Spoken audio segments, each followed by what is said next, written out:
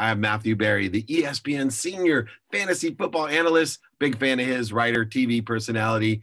Matt, thank you for coming on the playbook. David, it's my pleasure. Right, we, uh, I think you and I met uh, at a Super Bowl party like two years ago. We have a lot of friends in common. We hit it off, and we're like, we got to do the pod, and so I'm glad it's finally coming to fruition you know, with ESPN, it's not always easy. I've had Sage Steele, Dan Patrick, all the group. It just takes a little while, but we eventually get you in. You know, just like fantasy. We're a big company. We're a big company. We got a lot of we got a lot of cooks in the kitchen. Absolutely. But great. I know all those people you just mentioned. Yeah, great company and great personalities like yourself. And Tannenbaum's a good friend of ours as well, and it's many others. But you know, fantasy's taken a, a little while. I call it my gateway drug of uh of sports. You know, without without fantasy, we would not have the legalized situation that we have today. The ability, the polling, the gambling, the lotterying, the, the it's amazing.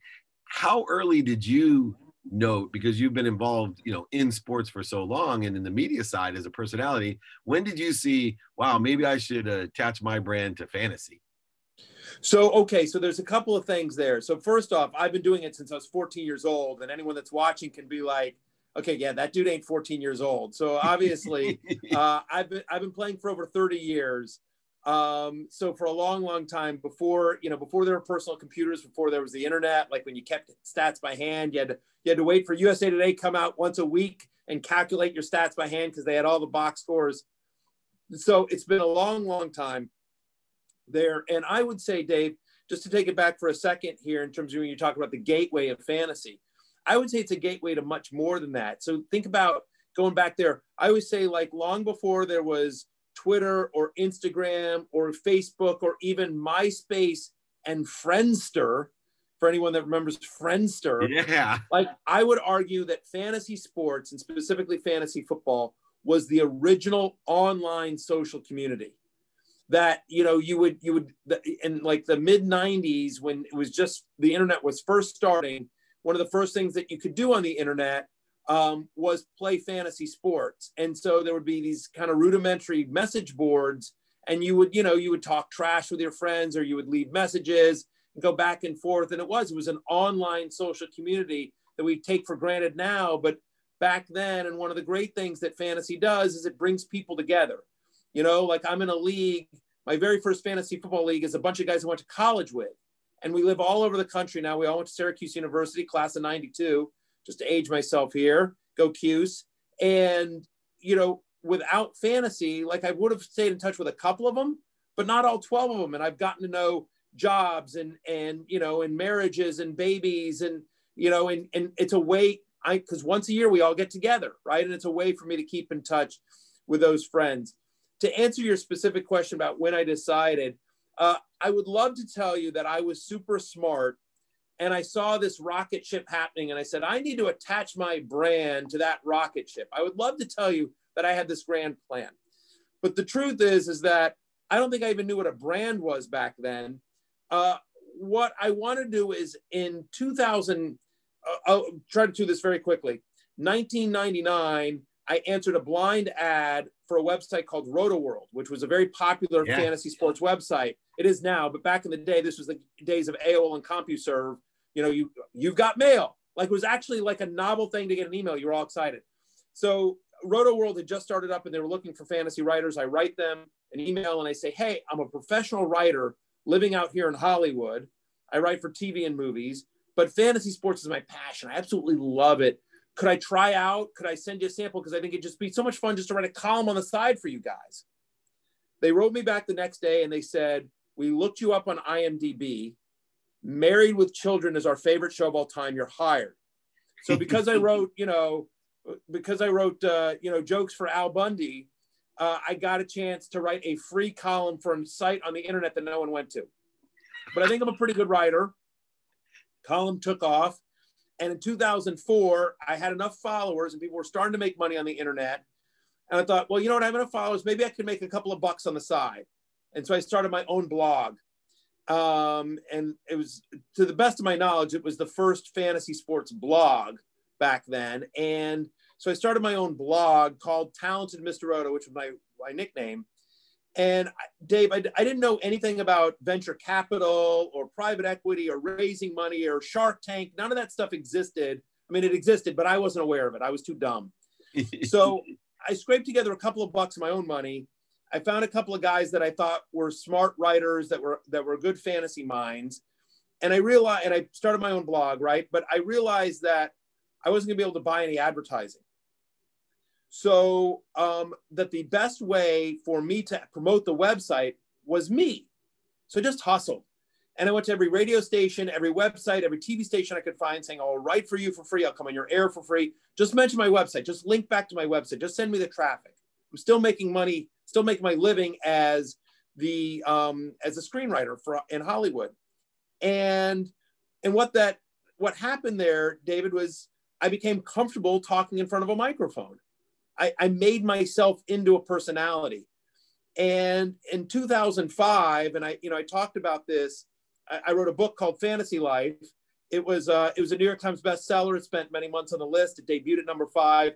It, that none of that has anything to do with the story, but the book took me took me two years, so I like to throw it in there, you know, just because nice. uh, you know it means a lot to me. It took me two years to write, and I'm proud of that. But anyway, so in my book Fantasy Life, I talked about this.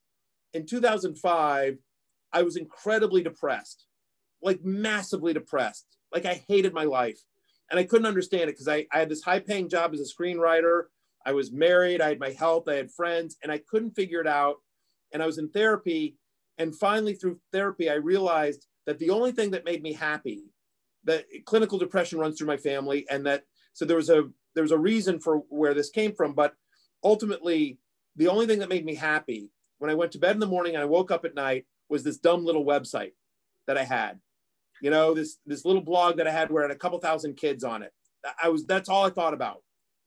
And so when I decided, again, going back to your question about when I decided to make this, you know, this brand move, the truth is, is that all I did was chase happiness. I chased happiness. I just decided, I said, you know what? I realized I make a lot of money as a screenwriter. And the idea that you could make a living, the idea that you could make a living talking about fake football on the internet in you know in 2005 was kind of a was a, a random one. But i said i said i said to my writing partner i said let's write one last movie bank the money because i'm going to quit show business and i'm going to try to make a career of this. Like i'll probably make $10000 a year. I'll figure it out. I'll scrape by. But it's the only thing that makes me happy. So all i want to do is chase happiness. So the answer to your question it's a little bit of a roundabout way is 2005 and the reason i did it wasn't because of some grand master plan that I thought, well, this thing's going to be big and I want to attach my thing. I'm, I'm going to make money and blah, blah, blah. It literally was about saving my life and just wanting to chase happiness. And the crazy thing and, and my passion, chase my passion and, and, and chase happiness is a phrase I use a lot. And uh, what's crazy, David, for you and all your listeners is that by doing that, by by leaving show business and chasing happiness, I went from behind the scenes to on screen. Like I've now I'm now been on TV. I've won an Emmy. Uh, I've been in movies. I'm you know I'm I'm an I have a I have a role in Avengers Endgame. I had to leave Hollywood to get into a movie, right? I had to leave Hollywood to be on TV, and I've had so much more success, financial and otherwise, by you know by just chasing happiness and not worrying about anything else um, I, have had a tremendous amount of success more than i ever dreamed. As to your point like i caught that rocket ship of fantasy football and i you know i i, I think uh, you know i had a role in helping build that and make that popular in america. It's one of the things that i'm credited with and uh, it's something i take a lot of pride in. And so uh, you know promoting the game and being an ambassador for it. And uh, you know that's ultimately what ended up happening. Yeah, the R&B when they put you into the Hall of Fame for that, you know, that special award. I forget the media award. That'll be perfect. Uh, and uh, I'm uh, working with the Hall of Fame. We'll have to nominate you. But two please, God bless. That would be amazing. Wouldn't it be? Because well, for me, yeah. you know, my mission is to empower over a billion people to be happy, and you're a case study for how if, if you're happy and passionate about what you do, you know, there's no laziness in you you you you know have always put the effort in to build that career and build your brand and build the opportunities. But i see you as someone that does everything they can to angle towards what they want with your passion and have faith that you're going to end up somewhere better than you even could imagine. And you seem to be very settled in that which i, I love from the time that i met you. Um, and you also do a lot for other people. You know jimmy v week is this week and you know obviously that's a big deal. You guys have raised millions of dollars. Um, but one of the things I find interesting is through this, you know, new world of of accelerated growth and change. And you know, tw- 20 years ago, when you and I probably had met and never even remembered each other, right? We would have never said, "Oh yeah, we'll have our own shows. We'll fly around, you know, tw- 20 play, you know." All, it, it still blows my wife's mind. She's like, you actually like have fans, you know, like what, what yeah. you and I was more behind the scenes than anyone, right? Because I was propping up the greatest names in sports and entertainment for so many years with Leigh and Warren. Uh, that no, you know, I was always, oh, that's Leigh's guy, that's Warren's guy. You know, you, you knew the face, but more yeah. importantly, you know, there's so many different ways that we go around. One of the interesting partners that you have is JetIt, and you know, it's a technology really more than than, than a jet service. The way that I see it, the innovation's incredible. I've used uh, JetIt as well myself. You know, why and how do you choose a partner like them to help you get to the productive and accessible side of what you need to do? Well, you know, it's interesting because it's um, similar to my career path where I didn't have a spreadsheet and look at like what's the growth injury industry. I just I followed my heart, right? And so to answer your question, how do I choose a partner? Same sort of thing. Like, um, you know, I met Glenn Gonzales, and I've written about him as well. Like if you if you search Matthew Berry love hate Glenn Gonzales G O N Z A L E S, you'll read his story. But this is a guy that I think is a is an American hero, right? So Glenn Gonzales was a lieutenant a lieutenant colonel in the Air Force, um, and started wanted saw that there was an opportunity after he got out of the Air Force, wanted to spend more time with his family. He's a family guy, which I love and appreciate. I am as well. Know you are too. And so um, uh, he he decided what he wanted to do. And you should have him on the show, by the way. He'd be Please. an amazing guest for you. Yes. Glenn would be an amazing guest because he's a he's a self-made man. And basically, what it is is as he got out and got into the private sector, he realized there was an opportunity in private aviation, a way to basically offer private aviation at a third of the price, but still have the same level of, of luxury, of fantasy. And so, you know, as a military guy, he, he's aware of, you know, being able to get the most out of his people. He's a leader of men. He was a lieutenant colonel. You know, he trained some of our fighters that fought overseas, that flew uh, fighter pilots. And so his story, I don't want to tell his story because that's his story to tell. But, um, you know, it's it's hard it's hard to start a company right? We agree on that. It's hard to start a company um, that's in private aviation because planes are expensive right? So um, and it's hard to start a company um, uh, in uh, you know when you have no business experience which at the time glenn didn't right? And honestly and i think this is something i don't think this is something ever glenn would say but i'll say it. I think it's hard to start a business as an african american you know in our country where we still have all sorts of problems in that and so Glenn was facing all those challenges, but somehow when you meet Glenn, he's an impressive guy, and he convinced he convinced somebody to give him some money to buy one plane and two employees. He started out with one one plane and two employees, and now three years later, he is the largest customer of the Honda Jet company. You know, they've got 11 jets, they got five more on order. And so, in terms of why did I choose to work with them, I work, you know, when I met Glenn, and he talked to me about the vision that he had for JetIt. And I saw sort of the family atmosphere. He's also, by the way, if you've read me for any amount of time, you know how important veterans are to me. And yeah. the sacrifices, not just veterans, but their families. I don't think people talk enough about the, the sacrifices families make of veterans. Because while they're off fighting for our freedom, they're back at home. They're taking care of the kids. They're taking care of the house. They they sacrifice a lot as well. And so um, I always write about veterans, you know, multiple times a year, especially on Veterans Day. And so they have over 52 former, I think they have over 50. I want to say it's 52 now. They have 52 veterans working for them. Uh, I take that back. I take that back. I want to make sure I get this stat right.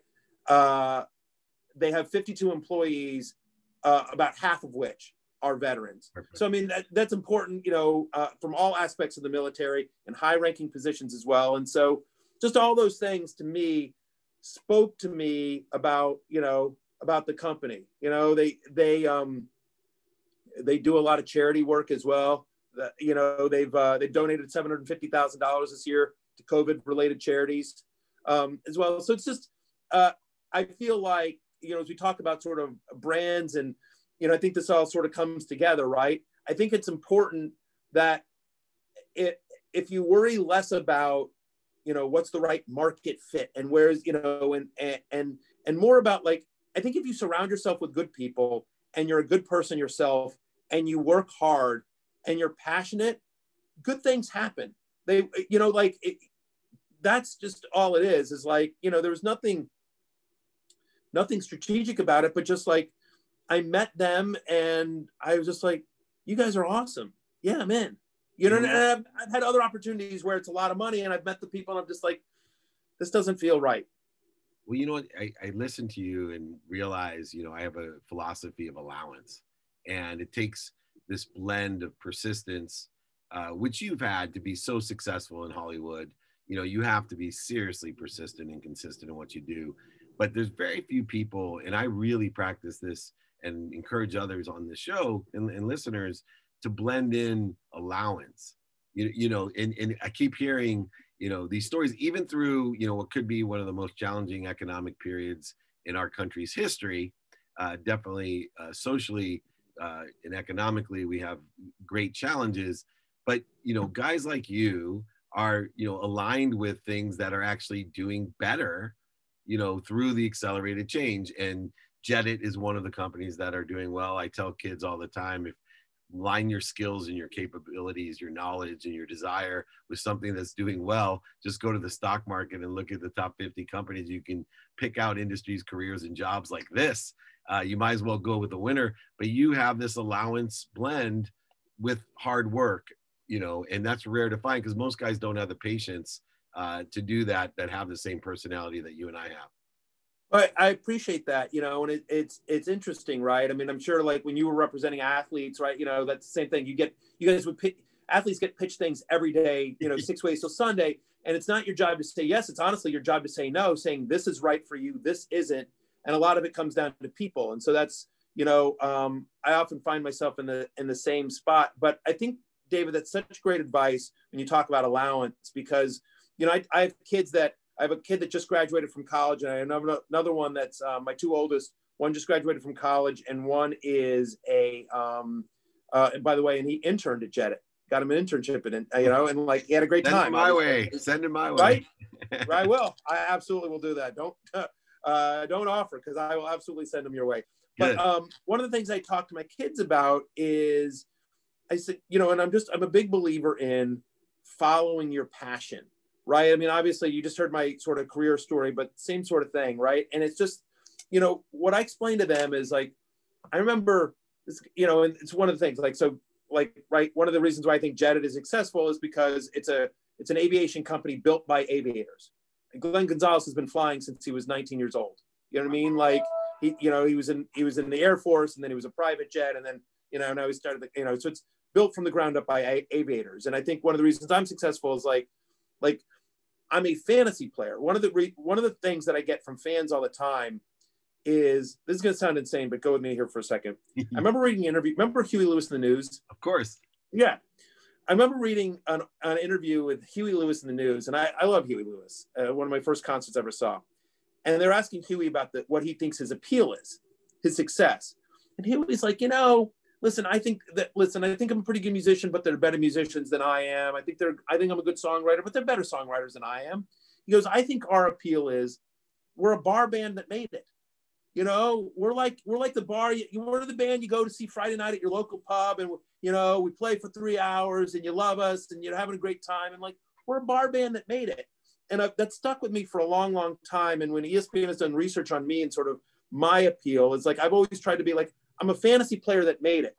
You know, I, I don't try to because I don't believe this, like that. You know, I'm smarter than you, and I'm coming down from you know Mount Fantasy with all the knowledge and the stats, and I'm just like listen, guys, here's what I think. Here's why I think it. Let's do this. Let's do that. And I, you know, people can smell a phony. And so I think that, you know, they know, they know that I am you know, that I that I'm still in 15 leagues. I still sweat all the losses, you know, and you know, I still go crazy on, you know, when when uh, you know when last on the Monday night game, we're just coming off that crazy yeah, Ravens Browns Monday night game, right? And you know, like I needed two more points from Kareem Hunt, you know, like to, to complete my Monday night miracle. And, and so they, you know, they can sense that. And so I think following your passion, what I was going back, what I was talking about with my kids is what I've said to my kids is like, and they're like, oh, what should I major in? What should I, and just like, I said, forget all that. I said, what do you like to do? And this is a story I told them. This is gonna be insane, right? But I, I, um, I, I do a podcast as well. Give a shout out to the Fantasy Focus. If you if you yeah. like fantasy sports, give out uh, wherever you listen to podcasts. You can get it. Uh, the fan the ESPN Fantasy Focus. Um, we do it every day, and um, we were doing a show in Baltimore, and this guy reached out, and we were doing a live podcast in Baltimore. And this guy reaches out and he says, "Hey, I run the Guinness Brewery here in Baltimore. I'm a huge fan of the show. I know you guys talk about beer on the show all the time. My co-host Field is a is a huge craft beer drinker. And he says, if you guys want to see how beer's made, come to our the Guinness Brewery. That sounds cool. Let's kill a couple hours before the show. So we go do it. Lovely staff. They're really nice. And as we go there, we're going through the we're going through the the um, brewery, and we find out that so there's a bar at the brewery where they sell. I want to say I'm making up a number here, but it's something like 25 beers, 25 different Guinness beers, and they're telling us that there's only like three or four if you go to your supermarket or your liquor store, there's only like four Guinness beers you can buy. And I'm like, what's that? He's like, this is a testing ground. Like we try it out, we see what sells well here. If it sells well here, then we, you know, we do a limit, we do a, you know, a limited distribution. If it sells well there, then it goes national. But this is where we, this is kind of a testing. And I said, well, how do you do this? And, and they take us and they show us that like there's a room where people are making literally every day. All they do is try to come up with different flavors of beer for Guinness. And then there's another room where there's guys that are just going in and they're testing it. It needs more hops, a little less barley, whatever, right? So I told my son this, and I, I know which job seems want... more fun. Right? Well, that's what I said. I said my point of telling that story, and I would tell this to anyone listening. And I tell my I told my son that story. I said the, the point of that story is that there are people whose entire job is drinking beer. Right? And I'm just yeah. like, so I mean, like, and I said, I said, listen, I have no disrespect to those people. Like I have higher hopes for you, my son. But like if you came to me and I said, what do you like to do? Don't worry about a career. Don't worry about a path. Don't worry about just what do you like to do? I said, because we're in such a world now where when you find something you like to do, you can make a career at it. I said, like, if you came to me and I said, you know what, Matthew, dad, whatever, if I love drinking beer, I'm, you know, I'm obsessed with beer. Okay, well, there's a career for you. I actually know a guy I could call you and see if we could get you an interview. Look, like, look, look at Dr. Pimple Popper. She has more followers and makes more money than both of us combined, and we're pretty right? successful at what we do. well, that's exactly right. Like I love playing fantasy sports. You know, I, when I talk to college kids, and I'm sure you do the same thing, David. When I talk to college kids, I say, here's the thing: when I was in college, my career didn't exist. Like forget like making a living at it. My career didn't exist. The you know like the internet was just starting when I was in college. So the idea that you could, you know, in fantasy football wasn't what it is today. So the idea that I could make a living, and by the way, a nice living, talking about fake football on the internet, which is what I do. You know, I, I have some TV shows, whatever, but like at the core of it, my job is to talk about fake football on the internet. And, you know, so, you know, I like whatever. Like, you know, I told my my my son, like, like listen, you know, when you started college, TikTok wasn't a thing. Right. I like there's always going to be new emerging careers and, and paths and technology. So find what you love and there's a way to make a living at it. If if you chase happiness and you chase your passion, that's what I believe, you know, leads you to success. And you've done that at every level and which is why I was so attracted and excited uh, when I met you and to have you on the show because you are the epitome of what I teach someone to develop the skills the knowledge of who and what around what you love to do and what you can learn to love to do because you have learned a lot about fantasy over these decades as I have learned about what I've done and done such a terrific job of not only for yourself but passing it on and empowering other people. And I love the story of happiness. That will be repeated multiple times. Uh, I also want to thank JetIt too because uh, they had a lot to do with helping me get you on here. This extraordinary company. I definitely you you owe me a guest, so we got to have Glenn on here. Okay. I, I will I will text Glenn. I will tell him you got to do David's podcast. He's a he's an impressive guy. Um, he's the war he's, he's the Warren Moon of private jets, man. I got to have him on. He, abs- he absolutely is, and they you know, and it's just it's been great to see. They literally just um, you talk about giving back, and I think this is important as well, right? But I'm I'm looking at my phone right here because um, they literally just made a deal um, to uh, to be the match, you know, and so be the match is you know is is somebody that helps with um, bone marrow transplants, you know, yeah, and so in essence, one of the issues is especially in, in in COVID times is basically if they have a match with a bone marrow transplant, you know, somebody a donor and somebody who needs it, getting them together. Because it's you know too yeah. rare to find that match, and so how do you get them together? And so they've donated their private planes to like we'll fly whoever we need to wherever, which I think is I don't know. I, they're just awesome. they're good they're good people. It's a it's a great company. I'm proud to be associated with them. And uh, yes, if anyone listening needs private travel and wants it at a you know at a third of what other private travel companies do, uh, go jet it. You gotta go check out. Uh, I love it, man. Uh, well, you yeah. you are so much fun to watch, and thank you for everything that you do. Come back anytime.